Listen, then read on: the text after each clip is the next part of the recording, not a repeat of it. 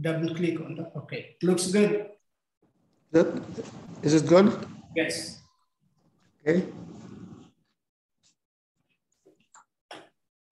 Let me explain briefly why I chose this title, Expectations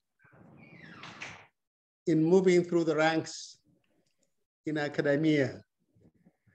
This is something that I have gone through, obviously, and uh, if this presentation could be of benefit to a couple people, I would say it's worth the effort. It's with that in mind that I selected this. I'm sure there are some distinguished individuals in your uh, ranks in here, but I'll share my uh, experience and opinion on the subject. So I will move on through uh, through the slides. Can you also see me? And Yes. I can see him. Yes, we can see you. We, we can see you. Okay. Let's see if I can forward. Okay.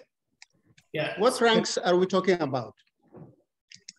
From assistant, in most cases, in most universities, you, you know, one starts with an assistant professor and then after five to six years, one is up for promotion to associate professor with tenure. And the next one is from associate professor to full professor. There is not a time frame for that. It could be two years, could be three years, could be 10 years, or it will could it could never happen. It really depends, you know, on the achievements of the individual, which we will talk about and then is endowed chair position. And this could be within the department or it could be within the college or the university. And finally is to be elected fellow in your professional society. So those are the areas or the ranks, if you will, that one has to go through. And finally, there is obviously the uh, Academy of Arts and Sciences, the Academy of uh, engineering uh, and medicine. And that has a different uh, evaluation process, but by and large, some of the things that I would mention in here will go through. What do people look for? What do your peers look for in the evaluation process? For junior faculty, it's really you are looking five years. You are up for promotion after five years and the evaluation is done on the sixth year. So really in the first two years, you will be spending trying to understand the ropes, so, so to speak. That is to get used to the area, to define your, your research projects, to hire graduate students, to know, you know, the department and so on and so forth. So the first two years is really a learning time. So you only have three years to produce something. So what the peers look in the evaluation process is the potential of the individual to succeed in his field. So really the key is this individual has a potential. So that's what they look at or they look for. But for a senior faculty, the words that are commonly used are like that the individual should be distinguished in his field or in her field, that he is an authority in his field or her field, that he, he or she is nationally recognized by his research, by her research, and has made an impact nationally. Those are the kind of words that they see in the evaluation process for a senior faculty. So the evaluation is really, you know, the college has uh, a say to the promotion of the individual. The university has a say to the promotion of the individual because they are hiring this individual for 40 plus years. So the evaluation process is very rigorous because once the person is tenured, he is in or she is in for 40 plus years. So that's why it has to go through all these processes. Okay, what are the expectations? I will categorize them into three categories. One is excellence in research. I will explain what that means. Excellence in teaching. And three, excellence in professional service. Okay, I lump everything into those three, into those three categories. And I will explain what each one of them involves. Here in most research institutions, a person may have a split appointment like certain percent teaching and certain percent research, or the individual could be 100% research or 100% teaching, or there could be an extension appointment as well. Administration is also considered if one is a department chair, there could be some 10% uh, commitment associated with administration. But by and large, it is either research, either teaching, or research and teaching. In most cases, it is research and teaching. Uh, this slide is a little bit screwed up, so let me. Okay. What are the indicators of excellence in research? One is to develop a research program in the area higher and beyond. What does that mean? A research program, that is a very key, key uh, concept. It means it's a research where you have to go in depth and breadth. Not only depth, not only breadth, but both breadth and depth. If you have a lot of publications but in different areas, then that's not really quite a research program. It has to be, say, take Pan-Africanism, for example. You know, well, there is the economic aspect of it. There is the political aspect of it. There is the military aspect of it. There is even the psychological aspect of it. It has, it could have so many aspects of it where you can go, you know, in breadth and also in depth. Otherwise, if you publish papers in different areas, you may have a lot of them. That is not considered a research program. A research program has to have a thread that connects what you do. It has to have a theme of what you do. So that's extremely important. Another element of this is publication in mainstream journals. I call it mainstream journals, journals that people know in your area, not in magazines and so on and so forth, but mainstream journals. People look your publications in mainstream journals. Another indicator of excellence is grantsmanship. That's writing proposals and getting money for your research to support graduate students and also for your research. Well, when you write a proposal, you are writing on something new, on something new, and it's reviewed accordingly. What does this proposal provide new? Therefore, it is an indicator of excellence. If it is accepted, that shows you know, some elements of excellence in that proposal. Other indicators, invited talks in national and international conferences. Well, people don't invite an individual just for nothing.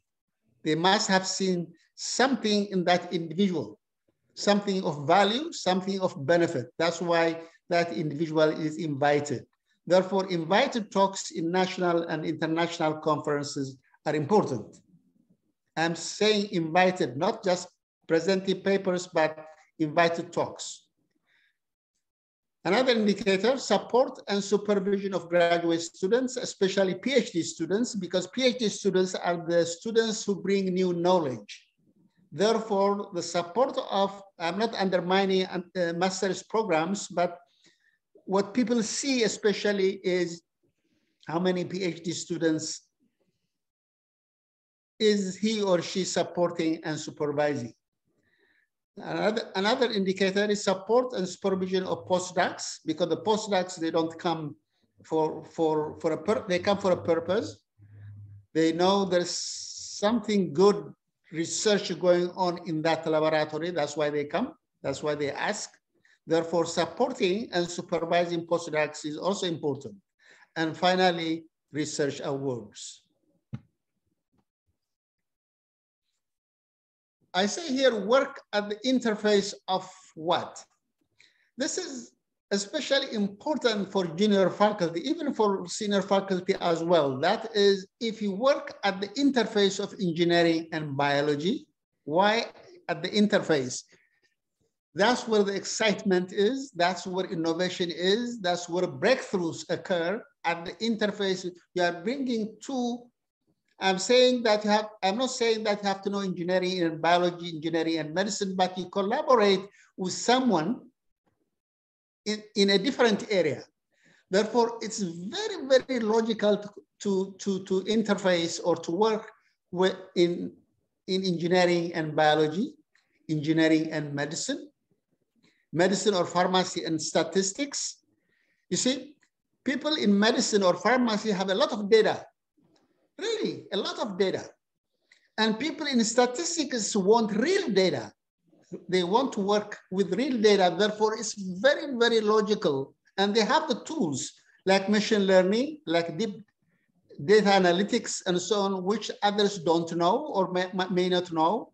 Therefore, it is extremely you know, beneficial to collaborate with somebody in a different field, or what I'm saying is work at the interface of something, engineering and economics, for example, sociology and history, political science and history, and etc., etc.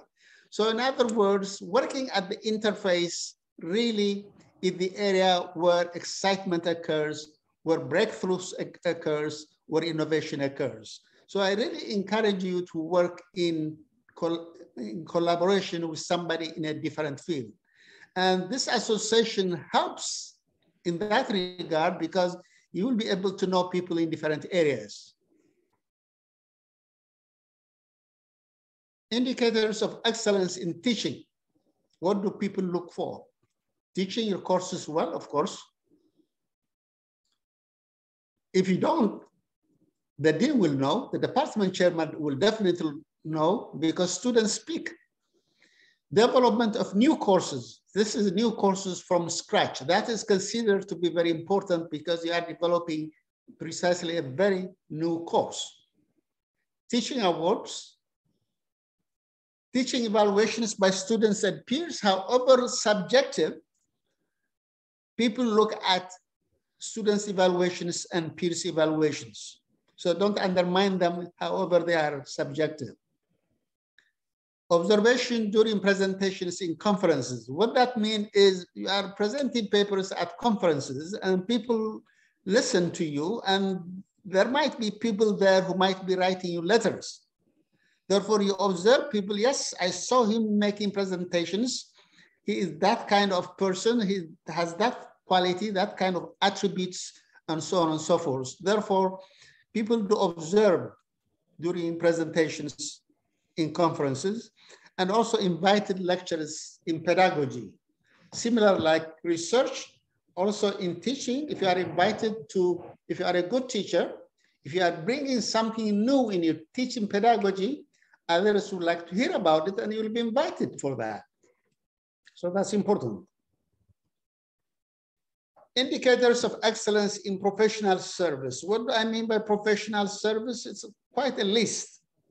One is undergraduate advising and mentoring. Well, undergraduate advising is part of the job responsibility anyways, but if you do a good job, students write about you.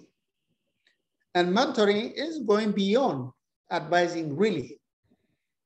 Service to the department, service to the college, service to the university, and service to your professional society. Those are also considered. Another indicator is participation in professional development workshops. I say professional developments like in leadership workshops, teaching and learning workshops, research workshops. This is just to improve yourself in terms of teaching, in terms of research, and so on and so forth. So those are considered to be important as well. Leadership in organizing conferences, seminars, and workshops. I'm saying leadership here in organizing those. The point is you are bringing name to the institution you belong to. When you take a leadership role in something, you are bringing name to the department. You are bringing name to the university or to the college. That's how people see it. Finally, service, mentoring, advising, and leadership awards. Other indicators beyond research, beyond teaching, beyond professional service is chart a new research path beyond your PhD work. What does that mean? Well, you have done your PhD, you have done your dissertation on something. If you keep on continuing doing something similar, maybe, uh, yes, both in breadth and depth, but still the same area, then you are considered to be under the umbrella of your major professor. You are not out of it. So it's, it's, it's always good to chart, to chart a new research path of your own beyond your PhD work. I'm not saying that you have to abandon, continue on your, uh, on your PhD research, but I'm saying that you have to chart a new, a new territory, a new path. That shows scholarship. Otherwise, you are considered, hey, this individual is still under the umbrella of his major professor. He hasn't come out of his PhD work, even though he's doing good work uh, in that area. Other indicator is like research collaboration, no question about that. As a PI or as a co-PI with others in other fields. That's what I said, when you work at the interface of two fields, that's when you become a co-PI with somebody else. I have worked with animal scientists, I have worked with genetics, I have worked with somebody in immunology and so on. So try to work with other fields. You have something to contribute, you have something to learn, and the other person has a similar agenda. First, authorship in peer-reviewed papers. All your papers should not be authored by graduate students only. You have to write papers yourself as well so that you are the first author in some of your papers. It shouldn't be all by graduate students. You have to show your own. Therefore, first authorship in some of your papers is important. People look at that. And if you can, be an adjunct professor in other fields. It could be in the same university, it could be in another university as well. Okay, about postdoc. Here I'm going to explain some of the Uh, advantages and some of what I may call shortcomings of being a postdoc for so long. Well, working as a postdoc is excellent research experience for sure, because what you do is research only.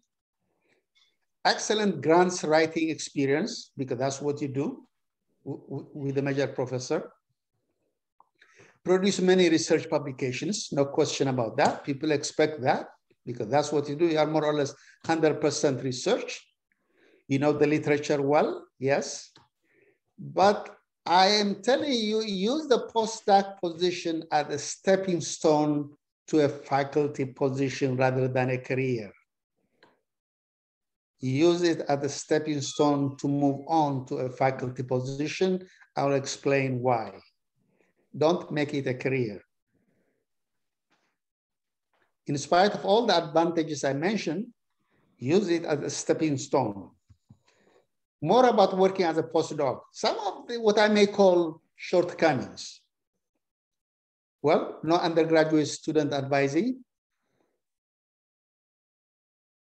Really, you don't have your own undergraduate students. You may advise undergraduate students of the major faculty whom we are working with, but not your own. No graduate student research supervision. You may supervise, but yet those are students of the major professor. no teaching experience. So I encourage people, even if you are a postdoc, 100% research, try to volunteer to do teaching. Volunteer yourself to teach once a while. You know, some people need help. They will, they will be more than happy to have you teach. It could be not a regular teaching, but at least as a guest lecturer sometimes.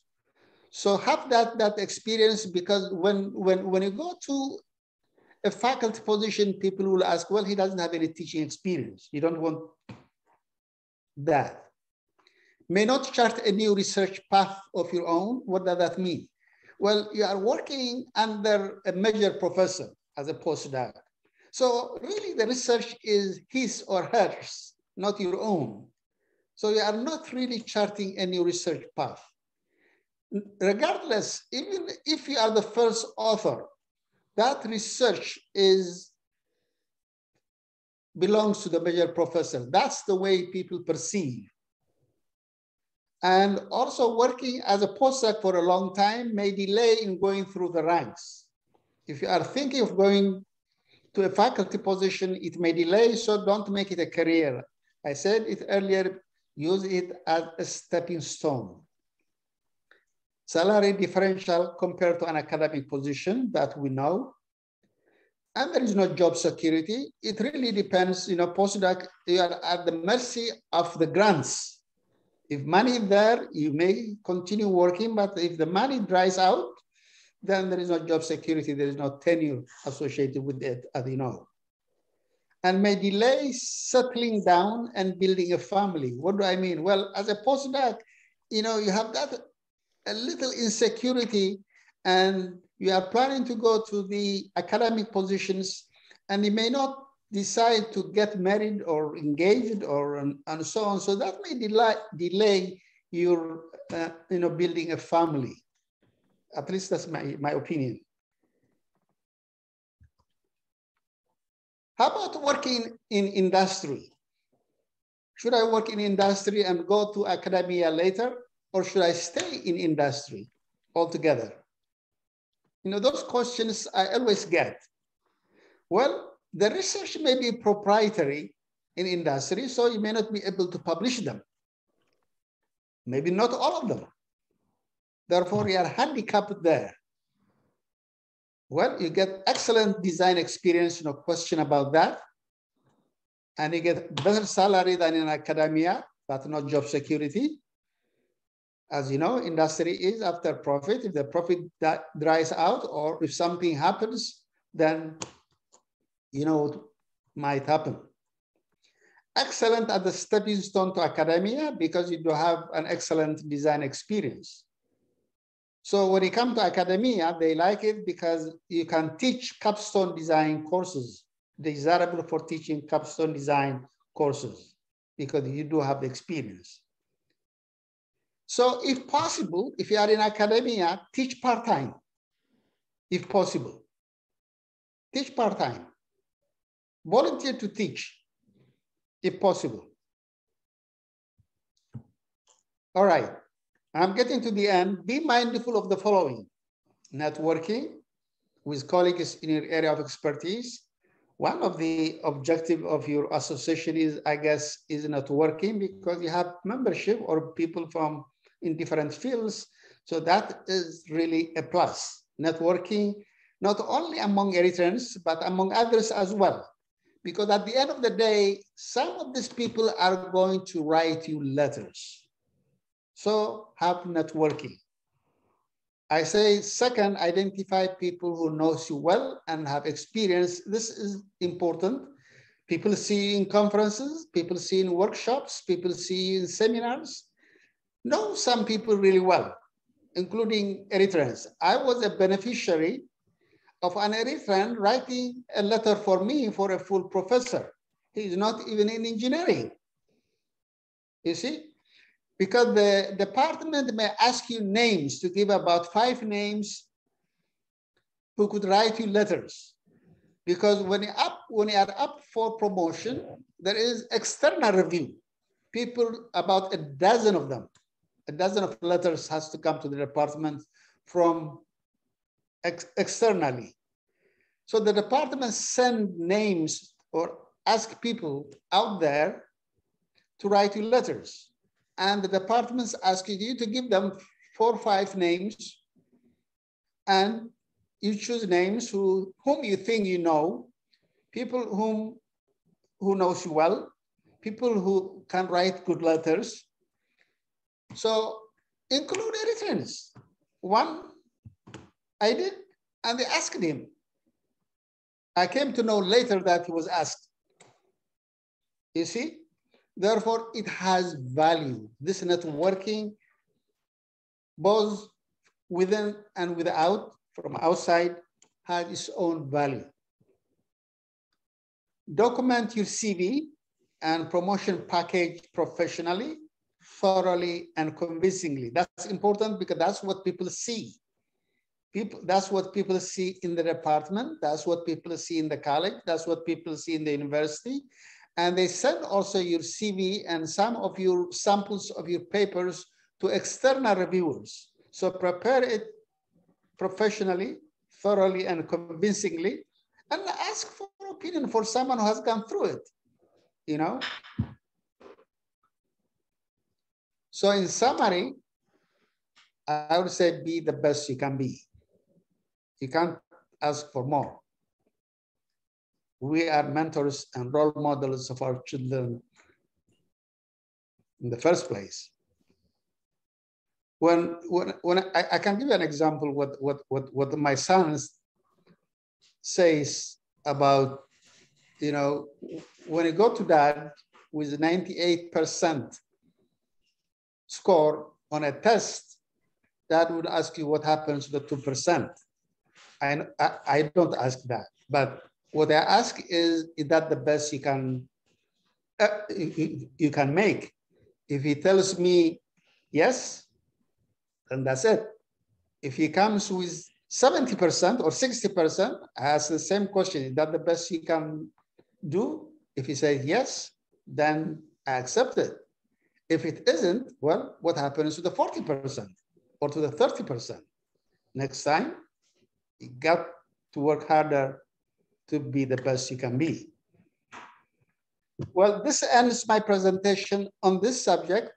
I don't know how we are doing in terms of time. I can move on into something that I'm engaged in. Yeah, we, we, we, still have some more time. You can, you can go ahead to. Okay, I will move on then. It's a few slides only. This is, I am engaged in a new initiative in modernizing the agricultural food system in the continent, in Africa. This is to establish four or five technology innovation centers in the continent and to try to modernize agriculture and the food, starting from the soil, the plant, the animal, the food, call it from soil to the supermarket or from the soil to the fork, if you will, looking at it holistically this is a multi-million dollar project and it is being sponsored by professional societies. So I am in the advisory board and I'm pushing some issues in there. So I'm going to share with you what my passion is. Why did I say that the next frontier is the continent? Look at Africa's endowment. First, you have seven, or some people may say a billion strong people. And 70, 75% of those are young. There is biodiversity, all kinds. You have the land. Africa is really the sum of the US, Europe, China, and India. I paste, I paste those countries in the continent and it covers US, Europe, China, and India. So the land is there. The climate is there. Alternative energy sources are there. You have oil, you have precious metals, including diamonds, you have forest timber and livestock. So that's where I think the next frontier will be. But the key is to develop it. So the challenge, as I see them, and others, water scarcity, energy deficit, and food insecurity. I would lump all those three in terms of technology and methodology, that we have to change the technology or and the methodology to solve those problems, those challenges. Like any, like any other continent, there is a global climate change issue.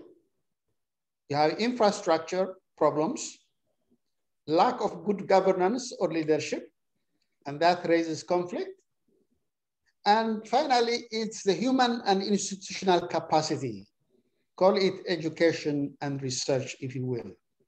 Those are, there are, are obviously other challenges as well, but to me, those are the major challenges that I see.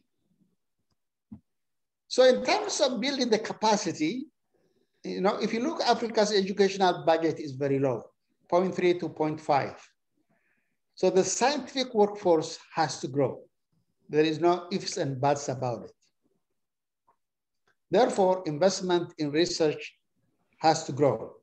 As you can see, Africa has 0.1%, whereas developed nations greater than 3% of their GDP they spend on research. And the national research agenda should focus on multidisciplinary, multidimensional, collaborative, and problem solving. Problems today are not very narrow. It's multidimensional. It's multidisciplinary. That's why you need the collaboration. Therefore, it has to be approached that way. The research agenda has to be defined that way. And the money has to be made available for that kind of research agenda, for multidisciplinary, where people come together and propose multidisciplinary, multidimensional, collaborative research. So the, the focus should be on value, on impact. I'm not saying that research has to be done for research sake, true. But really, for the continent to be developed, I think the value, the focus, the emphasis should be on impact, like poverty reduction, health needs, economic development, and national security, et cetera, and et cetera. And the educational system must also re reflect that multidisciplinary thinking. You know, it has to be transformed. Things has to be transformational to make a difference. futuristic solutions in agriculture, specifically in agriculture. This is something that I am pushing passionately, especially for countries like ours, which is very small in terms of the landscape. Go vertical agriculture, vertical farming. Not only vegetables, vegetables for flowers, for animals, and so on and so forth. Vertical farming, vertical agriculture. The land is, you see, in the United States, they have the land, they can go horizontal. But countries that are small need to go vertical. I have been in Japan once, and I was taken to a place where there is three-story building for chicken and another three-story building for swine, pigs when you come to the gate, you don't think that you are coming to a poultry farm or a swine or a pig farm. You think you are coming to a bank. It's so beautiful, it looks like a bank. Three story for pigs and three story for, for, for, for chicken. When you come into the gate, they sterilize your car because they don't want you to come with bacteria for chickens, you know, because you have millions and millions of chickens in this building. And you come to the first floor, a big lounge, they show you videos how things operate. You see, since pigs are housed by age or by weight, you know, some could be the third floor, and some the second, one the first floor, and so on and so forth. They move them by elevators. The elevators are huge rooms. And the waste, the manure, if you will, goes through conveyor belts to another building, dried, mixed, packed, and sold. You see? So this is what I call vertical farming. So we can grow our vegetables, we can grow our flowers, we can grow our spices. Okay, let's wait for animals housing, but at least for vegetables, flowers, and crops, go vertical. Air farming is another one without soil. How about ocean farming? We have the sea, such as seaweed for food and energy. Well, right now they grow seaweed, but how about for food and also for energy? You see, seaweed doesn't need fresh water or fertilizers. Yes, there are challenges. I don't know the solutions, but why not? Why not ocean farming? You see, who said that we are limited to the ground? Another challenge is perennial crops, multiple harvesting crops. You know, there are there are there are uh, vegetables now that that that are perennial. They come back every every year. Even flowers, roses do. How about for crops? Can't we have perennial crops? I'm putting this as a challenge. And then precision or smart agriculture. What do I mean by that? Here is a vertical farming. You see how tall it is? You can scale it with a guy on the floor. It's really big. This is in, in the Netherlands. And this grows with less water, 90% less water without soil. You bring the nutrients. So countries which has small landscape need to go vertical farming. What does precision or smart agriculture mean? That means going digital and everything is now going digital. You know, in this age of information technologies, where you improve productivity, profitability, and sustainability, you go digital. You will have robots, for example, going elevators in hospitals, go into your room, identify who you are, and give you the medicine you need. You see? You have robots milking cows and feeding cows. So there is now a shift from generalized management to a highly optimized, individualized, real-time and data-driven management. That's where the drones come in. You see, these drones will have their own algorithms, softwares, analyze data that comes from agriculture, that comes from medicine, that comes from other areas, analyze it, and sell the information back to the consumer. So that's where we are heading. Sensors, drones, imaging, spectroscopy, the cloud, digital tools, robots, big data, GPS, GIS, automatic milking, feeding systems, etc., and so on. Today, you see, you can manage each cow, each crop individually. You will have data information for each crop, each potato, each tomato, or specialized crops especially, or each animal, when that the cow needs a mate. That's extremely important. The timing to know when a cow needs a mate is extremely important. That affects its milk production. Right now, what do they do? When another cow jumps on her, well, you can't observe hundreds and thousands of cows. But if you put sensors, then you'll get that information on an individual basis. And then the farmer could go and do what he has to do or what she has to do. Provide a mate or artificially inseminate the cow. So we are going to a, from a generalized management to an individual, individual, individualized management and on real time. Here shows real-time continuous system monitoring. You can see the farmer there getting information from drones, you know, information about irrigation, information about the soil, information about the crop, information about the animals. Everything goes to the drones, analyzed. Unfortunately, these drones are owned by corporations. They take your data, analyze it, and sell it back to you, back to the farmer, to the end user. You see? So that's the trend. That's what's happening. Okay. So thinking ahead, I'm almost done. We need to re-engineer the crops, animals, and other living systems at the genetic and cellular level. He's lecturing. Oh, he's still lecturing. Yeah. Oh, okay. yeah. At, at the genetic and cellular level. So Come she- up with new crops. Yeah. And De- development of efficient, telling you. All you have to smart, and self-replicating. This is what I said earlier. The chat works. Yeah, the chat works, yes. And develop tools and systems for identification. Uh, They they just put technician. for ident- is somebody development of tools and systems for identification, tracking, and monitoring humans, plants, animals. That's what I said earlier at an Yeah. individual level.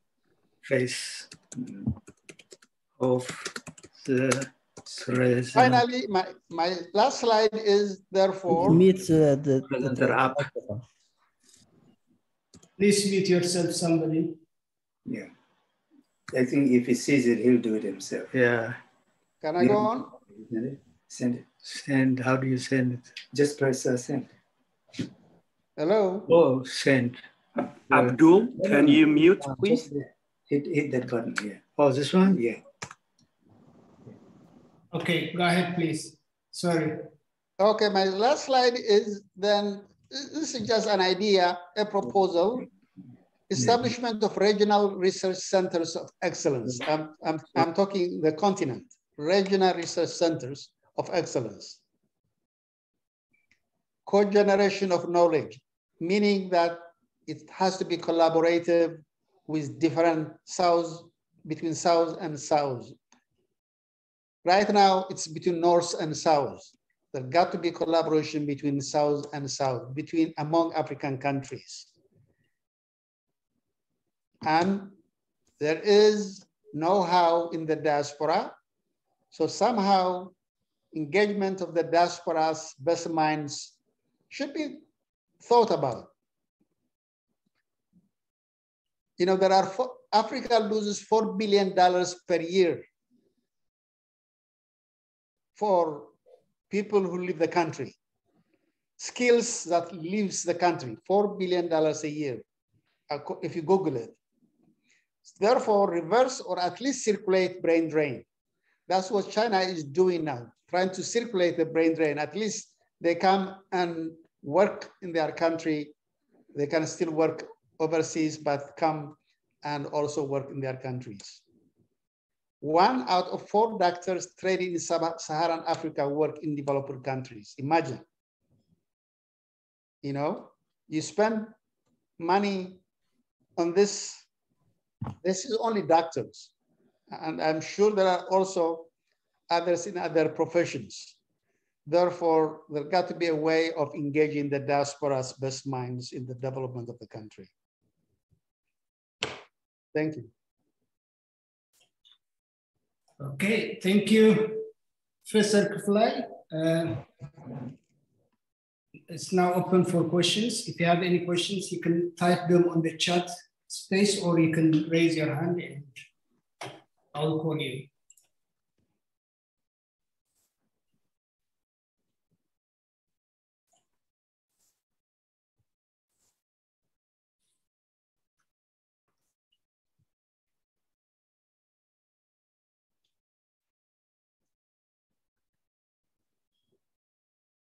I have a question. This is Mahari. Okay, go ahead, Mahari. Uh, uh, so Dr. Thank, uh, thank you very much. Uh, I think I have one question for you. Uh, one of our goals at this association is to, uh, uh, to produce journal articles, uh, what we call ES, uh, ESJ, Eritrean Studies Journal. How do you think that this journal might help to uh, impact or allow those young faculties to develop their scholarly uh, contributions through this young journal or even new journal, you may call it. Uh, any thoughts, suggestions uh, on, because the engagement part is one of the big challenges that we might have to bring young faculty into the, uh, both the association and contributing to the, uh, to the journal. Thank you. That's a good question. Um, one thing I would suggest is you have this seminar series. I would have one seminar dedicated where the membership speaks for four to five minutes explaining their research, you know, what they do, so that the rest would know who is doing what. So if I want to collaborate, you know, I know whom to talk to. So that in itself will generate interest. That interest hopefully will translate into publications. And uh, since your publication is peer reviewed, then it has value. People will see that it has value because that will help them in their profession because peer reviewed. And and really, if you do an excellent job in, you know, at, especially at the beginning, and people see the quality of the work, the quality of the journal, uh, I don't think there is anything else to, to be done. You know, have them participate in seminars like this, as I said, create some sort of collaboration. You know, I'm still collaborating with people, you know, and there are some distinguished people I know, Eritreans. I don't know if, you know, uh, Professor uh, Aforki Masho is in the audience. I don't know. He's an immunologist. And I know two really powerful immunologists himself and somebody in Stony Brook, Berhane Ghebrehiwet. So if people start collaborating and pu start publishing together, I think it will take off. Okay, any other question?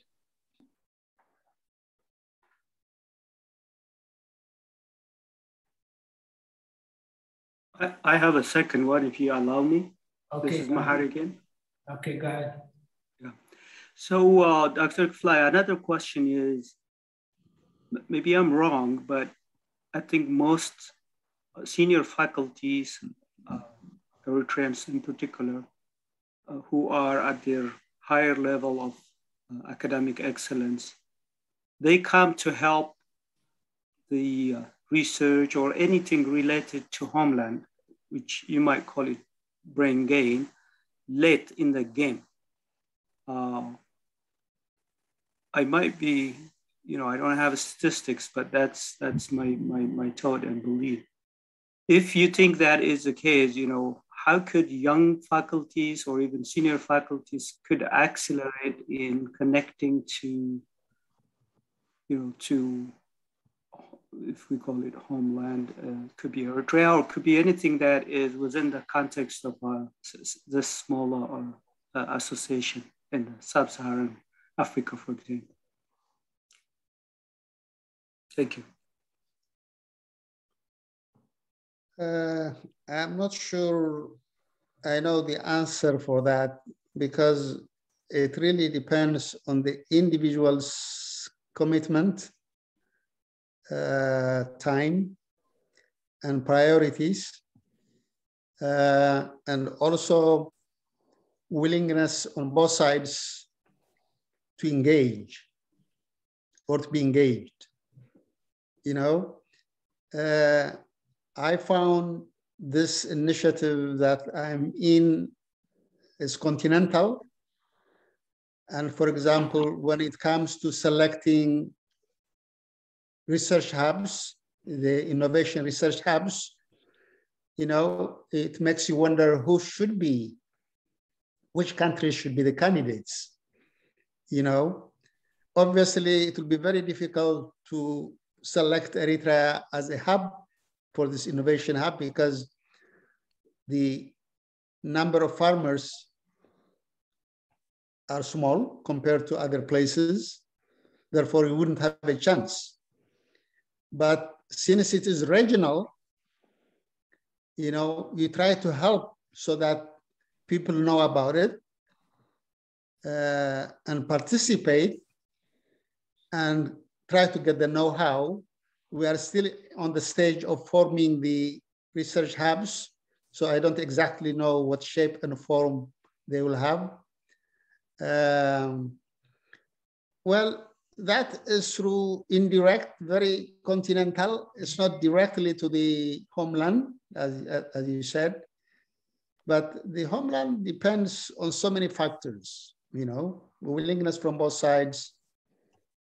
Um, the opportunity should be there, the willingness should be there, and so on. Otherwise, the skill is, there is enough skill, enough expertise, and even once you are, you know, you don't have a teaching and research commitment in an institution, you have time, you know, to contribute.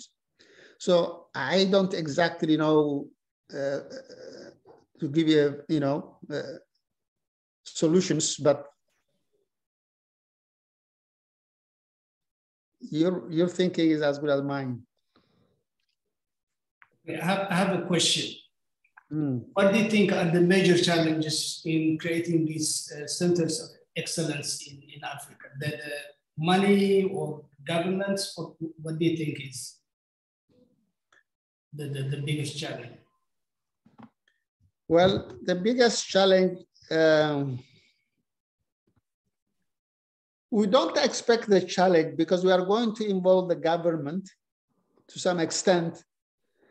We are going to involve industry, you know, entrepreneurs, because whatever innovation is created, then somebody has to fabricate it. There is human resource development part of it. There is institutional development part of it. There is entrepreneurship part of it. It's not only innovation. It's not only physical, technical innovations. It's methodology, technology, human resource development. And we are targeting the youth and junior faculties, extension agents, farmers, and so on.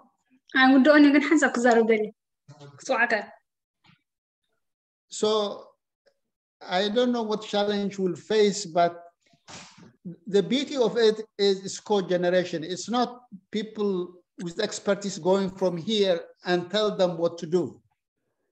You know, the expertise will be partly from, from within over there. They are the ones who are going to do the job. We may provide ideas. That's why we call it co-generation in terms of ideas co-generation in terms of human resource and institutional development. So we are trying to change, you know, the traditional mode of operandi, if you will, going from there, we know better, you do this or you do that. So uh, we'll see how it goes. Okay, thank you. And the I, yeah, I have a question. okay, go ahead.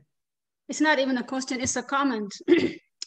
so I like this presentation. It's beautiful, it's good, and it can help a lot of young uh, potential professors and all that.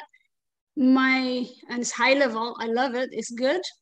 My worry is not about this type of people, this type of community, even though they need help, they need advising from older uh, professionals and all that what bothers me most is the other 95% of the Eritrean people uh, who are migrating here and, you know, uh, and you can see they are they have a lot of challenges, a lot of language problem, cultural problem, and all this.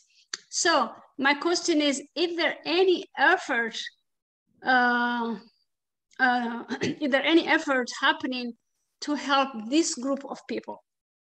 Because those are the ones more, I wouldn't say danger, but they need more help. But these professionals, they just need a boost or more, you know, more high level uh, advising. But uh, how about the other people who don't have all this access or background and all that? How can we help those people? How can we, what can we do about them? Because you can see them, they're just struggling, you know? Is there any effort going on somewhere that I don't know? But it bothers me more. And, you know, I, I always wonder, you know? I really appreciate the question because it's very pertinent uh, because you are talking the 98% or the 95% who needs Right. help. I can only appreciate the question and also sympathize with the with the agony. Um, I don't know of any organized uh, form to address that particular question, which I know of. Um, but that problem exists and will exist. So I don't know what to tell you other than I agree completely. yeah. I, I, I- I, I think I can say this. That is very, very important thing, but this association is not doing anything to that. We might invite somebody, somebody would be very happy to invite somebody who's doing that kind of work to talk to us, but as a group, as an association, we are not involved in any uh, anything like that. We are solely interested in, I, I mean, the, the, the, the we, we really understand the plight of our people and the young people are going through all these bad things these days, but the, this association is not organized to deal with that kind of uh, problem in Eritrea. This is, its aim is specific and its goals are the, the, the stuff I just showed you before. But if you know anybody there are people who are doing their best to help in that kind of. For, for example, I know some groups who help refugees in Yemen, in Libya, in Ethiopia, and things like that. And I would love to invite anyone who's doing that kind of work to come talk to us. But as a group, we are not doing any any kind of work in, in that field. Yeah, okay, I, th- I, I get it.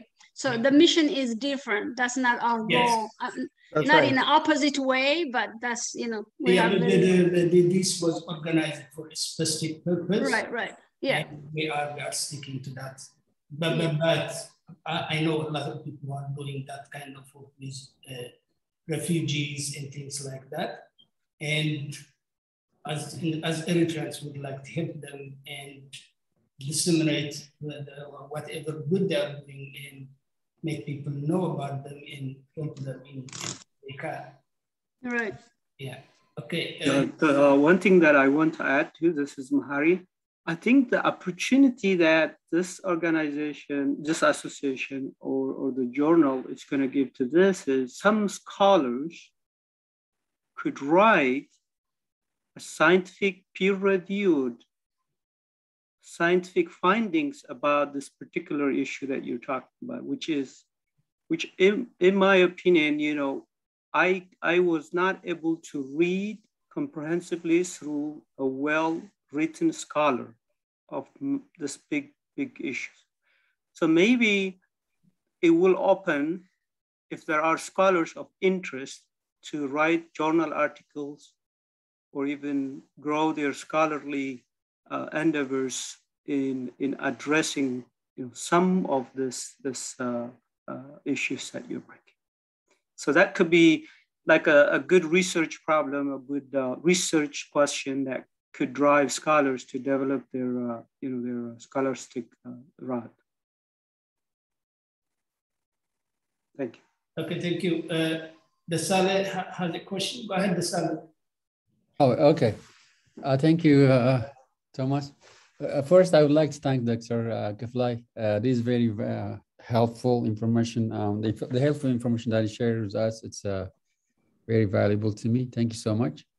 I have two questions if you have time. One question is um, you said that like Africa is endowed with immense uh, natural and human resources, of course, great culture, you know, ecological and economical diversity. That's important. But the main problem is we suffer from dictatorships, you know, corruption and then civil unrest and war, of course. So do you think so there is a hope these things can be changed? I don't know in what, maybe in the long run, possibly, but I don't know, within our lifespan. So I'm just, uh, I'm just curious about that. The, the second question is, um, this for the tenure and promotion. So let's say you got research, service, and teaching. So we can check this one, you know, you can perform well in all the three categories or other categories. But there are some politics uh, involved, you know, it could be from the department, college, and then it goes to the provost office. So how do you play those politics? So what is the best way to approach them? I will start with the second question. Uh, there might be elements. I wouldn't say that there is a lot of politics in academia. There is, there might be elements, but I tell you, in the evaluation process, since it goes from external review to the department, from the department to the college, and the college creates its own committee and looks at what comes from the department, what comes from external, and from there, it goes to the university, and the university has a vested interest because they are, as I said, they are hiring you for 40 plus years. So they don't want to load the university with tenured faculty, you know? So they have vested interest. So they create a committee and the committee looks at what the college said, what the department said, what the external letters uh, show. So there are checks and balances, if you will, along the road, you know? So the politics is very, very min minimal. In my opinion, the university is a place where at least there is, there is some justice to it, by and large, some justice to it. So I wouldn't really worry about small politics, you know, unless one person wants to make a stupid of himself or herself and try to argue otherwise. I think there is enough data, there is enough information coming from external reviews, from within, and so on, so that at the end of the day, you know, uh, justice will prevail. The second question is, I don't know, so, so difficult to, to answer. Uh, I hope, the only thing I tell you is, yes, I hope it happens in your lifetime or in my lifetime that challenge, I mentioned it at the end, you know, is part of the challenge that the continent faces. Thank you. Thank you. Okay, Dr. Berhane, you can go ahead.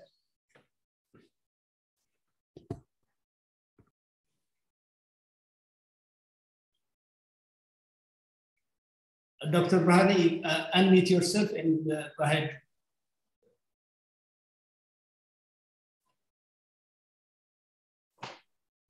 Okay, I think he's not there. Okay. Uh, Tesfa Mikael Johannes, please go ahead, ask your question. Okay, well, thank you. I First of all, uh, thank you, Ramas, uh, and thank you, Professor Kiflai. I am absolutely a true student here. I am you know, I'm not a teacher, uh, but I'm a civil servant. Anyway, I did, I, just curiosity, I you know, I have been reading and, and uh, listening to a lot of debate, at least in this country, in regards to tenure. Uh, as you know, uh, Fly, I, you know, I was a civil servant, and uh, the civil service, once you got your civil service tenure, nobody will question your your position, and you got a lot of a lot of uh, laws to help you to protect your profession. Um, but at the same time, during my profession, I do see a lot of um, lot of people who are not absolutely no good merit, but still keep their position. My point is this: I mean, now there is a lot of debate about tenure. What do you think? in regards to this uh, tenure. And uh, once you get this position, it's for life. Uh, and people, some people may not be, may ex, may not excel uh, to their profession after they got the tenure. Thank you. Yes, there is that element uh, of it, but not very much. Uh, that person will remain an associate professor without being promoted to a full professor otherwise. Um, so there is that um, stigma, if you will, that this guy or has been an associate professor for so long, you know, therefore there is pressure, you know, uh, pressure to yourself, pressure to the profession, pressure to the, you know, to from the university and so on. So otherwise you retire as an associate professor. Uh, of course, for assistant professor, if you don't get tenure, you are out. And that is a very bad stigma, even if you go somewhere else, because people ask, why did he leave this university or that university? Uh, so uh, there, there is there is pressure, you know. Uh, I do it for myself. I do it for my kids. I do it for my career. Uh, so people tend to work hard, you know, uh, even once they get tenure. The problem that universities are having or are, you know, debating is that they don't want to fill the university with tenured people. Now they have come with uh, what they call uh, clinical professorial positions. That is people without tenure. They can promote them to associate, they can promote them to full professor, but without tenure. You see? The reason that they promote them is, well, first, they deserve it. Second, you know, they can bring more money, grants, if they are promoted, you know, because of their stature. So they have come with this tricky way, if you will, you know, to promote people, but without tenure. So that debate is there.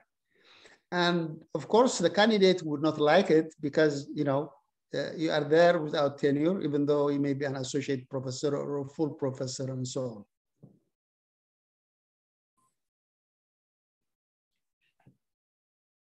And the reason for tenure is not to guarantee your job only. That's not the philosophy or the reason behind it. If you are tenured, then there is no one looking really over your shoulder. You can debate, you can uh, do whatever uh, research you want to do and so on and so forth without being worried about somebody you know telling you one way or the other you know? So it's good for the institution it's good for the students uh, that that person has tenure because the debate flourishes that way. Because if someone has no tenure there is that psychological impact that you have to think twice or be careful otherwise so it's very important to the institution itself. So it's not simply uh, granting tenure for the individual so that he has or she has a secure job. It's important for the institution. Okay. Uh, Dr. Berhane, you can go ahead. Okay, uh, thank you, uh, uh, Thomas. Uh, it's very impressive, Professor Kiflai, for your presentation. I really uh, learned a lot, and uh, particularly the fact that you presented uh, the way Africa has been, you know, endowed with all God-given every everything in every aspect actually. so we hope that we can be able to use it in the near future, I would say, although at this time it's not, it may not be feasible, but I'm very happy also that you are at least doing some kind of activity, like you mentioned it in, uh, in Sudan. But my question is, uh, uh, did you get a chance to, maybe I came late, uh, and this is also my first time to attend this uh, seminar, which is very impressive again. Uh, did you get a, any chance to work in, in Eritrea? I mean, in our back home. Uh, and if not, uh, do you have, uh, for example, like, you know, things change, which we hope in the very near future, that you could be able to implement all these lofty ideas that you were presenting that were probably also working in other sectors or that we could be able to implement back home and help uh, our, uh, our people. so, so, so the question in short is, did you get any chance uh, until now? And second, if, if not, do you have like, you know, some prepared uh, projects that you can implement immediately uh, if things improve. Thank you. Uh, I guess yes and no. No, because it's not enough. Yes, yes, I have been doing small things. I did visit all the dams um, as an engineer, trying to figure out you know, their capacity and what it means. How many harvests can you harvest with that amount of water? Uh, is for security possible and so on. So I did some calculations. I even made some presentations in a few cities here in the United States. Um, uh, so that kind of, you know, small work uh, but I wouldn't say you know enough because one always thinks that you could do more. Uh, partly because you know in academia, you know we work 12 months a year because it's research and teaching. Even when students are gone, still you have the research. So that doesn't provide you enough time to, to move. Um, I did participate in a couple conferences, yes uh, that's about it.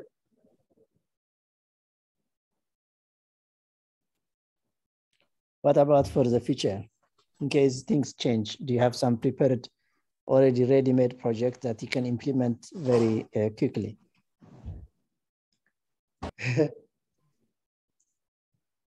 no, no, not ready-made, you know. Uh, it's not an individual's uh, you know, activity, it's, it, it takes a village.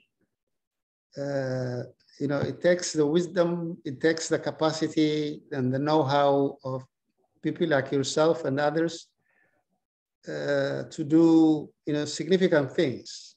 Yes, individuals can contribute, but I think it requires uh, the efforts of a lot of people to, to, to make it transformational and impactful. So we'll see. Okay, thank you very much. Okay, thank you. any other question?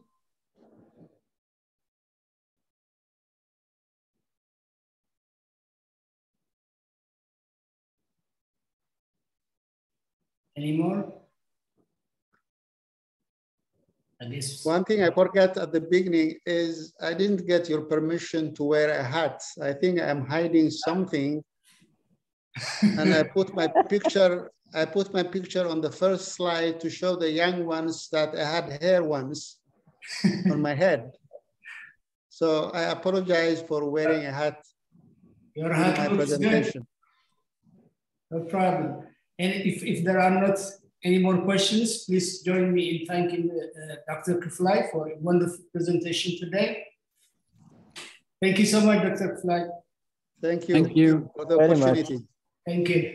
And we will uh, post the, the video on YouTube in few days. And thank you so much, everybody, for attending. And hopefully we'll see you next month. Thank you so much. Bye. You're welcome. Okay, thank you. Thank you.